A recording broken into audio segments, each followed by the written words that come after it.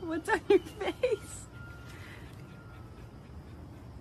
There's a butterfly on you.